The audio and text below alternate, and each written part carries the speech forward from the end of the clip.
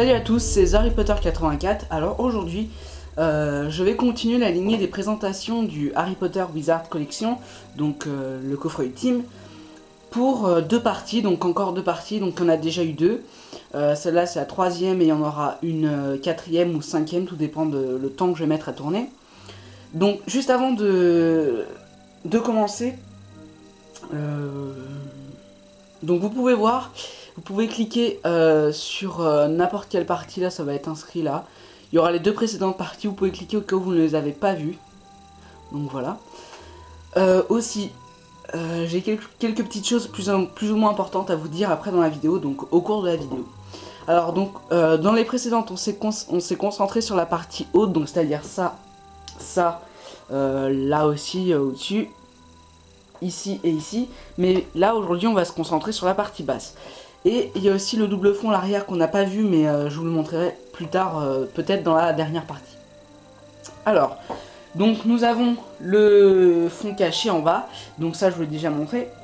Et, il nous reste trois euh, petits tiroirs. Donc alors, au-dessus, en premier, nous avons, donc voilà, un petit tiroir simple comme ça, le plus petit même. Nous avons la, la collection de labels, ainsi euh, les, dessins de Stewart Gregg, donc euh, le, un dessinateur de la saga, donc le dessinateur qui est là depuis le tout premier film. Alors, donc ça se présente comme ça. Donc nous avons euh, la collection de labels avec la, petite lettre qui se présente comme ça. Voilà, avec la chaumière au coquillage en premier. Alors, donc on va passer sur la collection de labels en premier. Alors, euh, nous avons HP et le Vif d'Or, collection de labels, euh, accumulée tout au long des 8 films Harry Potter, avec la petite étoile symbolique aussi d'Harry Potter. Et donc, quand nous l'ouvrons, nous avons collection de labels, euh, accumulée, voilà, appartient à, donc on peut mettre son nom, moi personnellement je vais peut-être pas le mettre, mais je vais voir. Et donc nous avons des pages un peu euh, très douce, très euh, un peu plastique un peu. Oui, ça brille même. Donc c'est très agréable. Nous avons tous les, euh, les Pepper Props un peu de, de Harry Potter. Donc je vais vous les passer en revue.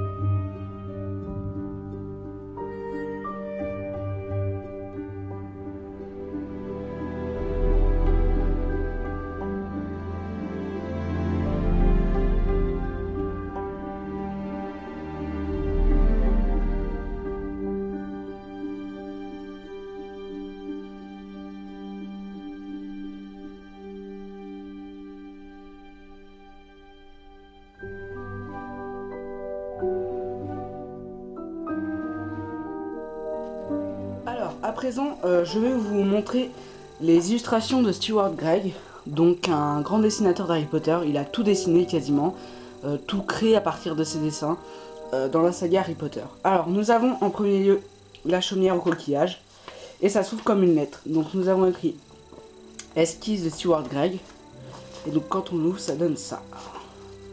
Un peu compliqué, voilà, ça s'ouvre comme ça. Et nous avons les, tous les dessins là-dedans. Alors nous avons en premier le plus célèbre dessin de Poudlard, je pense, euh, qui a été créé par lui. Donc on a l'impression vraiment qu'on vient de le dessiner au crayon, c'est très agréable. Ensuite nous avons euh, Little Glutton, donc toujours par Stuart Gregg, dont tout est de lui. Ensuite le chemin de traverse vers Gringotts. Et la cabane de Harry. Donc on n'en a pas beaucoup, euh, mais c'est déjà très agréable d'avoir tout ça. Donc voilà l'épaisseur un peu.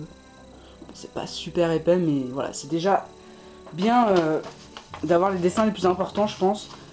Et euh, de voir comment la saga s'est construite, comment c'est basé autour de dessins euh, comme celui-ci. Donc alors à présent nous allons passer au tiroir donc, du milieu qui contient les deux derniers films de la saga. Je veux bien entendu parler des reliques de la mort, les deux parties. Donc en fait ils sont bien mis ensemble pour montrer, enfin moi je trouve c'est bien qu'ils sont mis ensemble. Ça montre vraiment les, les deux films en deux parties, donc j'adore ça. Alors nous avons la première pochette du livre, donc qui reprend celle d'un livre, L'héroïque de la mort, première partie. Voilà. Avec, euh, à l'intérieur, nous avons donc le film en Blu-ray, Harry Potter, l'héroïque de la mort, euh, première partie, le film, voilà, en Blu-ray. Ensuite, le film en DVD, comme d'habitude. Je sais pas si vous voyez bien. Euh, ensuite, la conception du monde d'Harry Potter, la partie 7, l'histoire, donc qui n'est pas présente aussi dans le bonus, donc c'est vraiment dommage, mais je vais y venir après. Et le film en 3D, pour, en Blu-ray 3D, pour ceux qui ont un lecteur. Oups, il est même tombé. Alors, attendez. Ensuite, euh, nous avons la dernière partie, donc euh, l'ultime film, hein, reprend l'image des contes de Biddle le. Ça, normalement, vous le reconnaissez tous.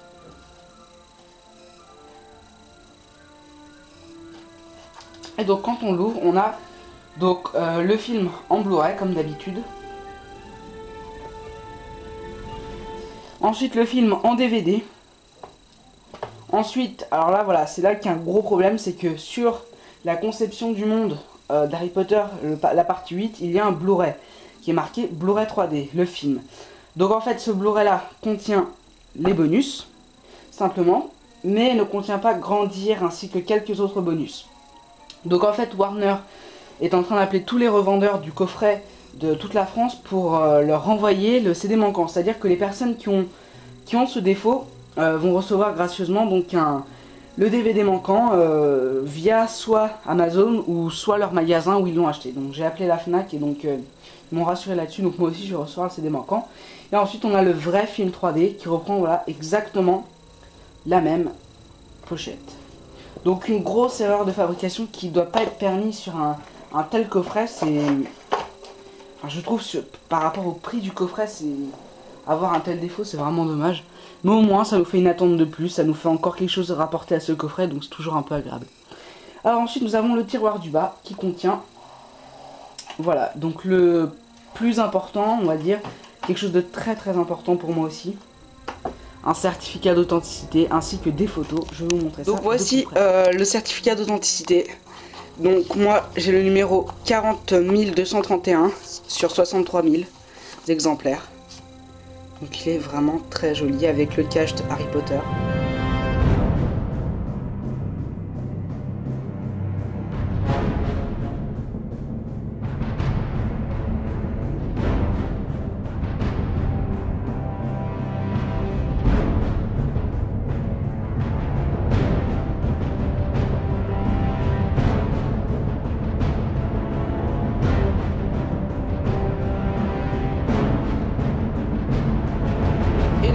Dans le tiroir, nous avons euh, des images Harry Potter euh, exclusives des, arts, euh, des arts concept avec un, un dépliant du, du studio à Londres. Donc je vais vous montrer ça.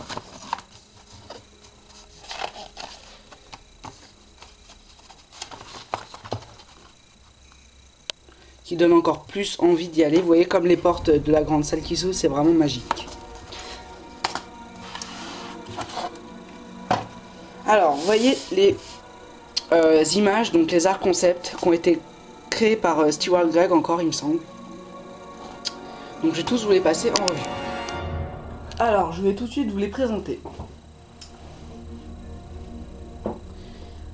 Alors, nous avons le premier dessin, donc Harry Potter à l'école des sorciers.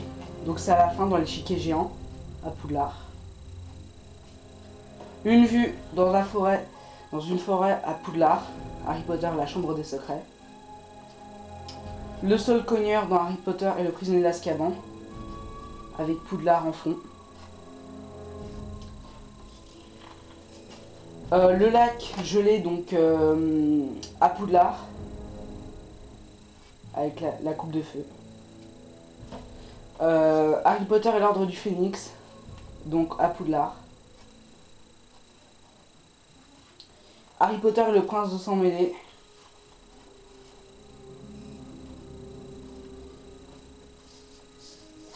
Harry Potter et l'héroïne de la mort, première partie. Euh, non, oui, première partie. Euh, à la chaumière au coquillage. Et ensuite, la dernière partie, Poudlard en feu. Euh, Harry Potter et l'héroïne de la mort. Partie 2. Donc ces photos sont de très très bonne C'est pas que du simple carton, on a dû toucher vraiment très agréable. Euh, les photos sont très épaisses. Et donc c'est vraiment un objet de collection qui est des objets de collection qui sont vraiment uniques et très agréables. Alors pour revenir sur le coffret, euh, donc je vais le fermer, le comparer donc à un livre que beaucoup de fans ont, juste en longueur comme ça.